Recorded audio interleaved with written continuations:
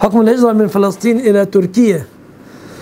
عموما الهجرة تكون من بلاد الأقل فتنة الأكثر فتنة إلى بلاد أقل فتنة.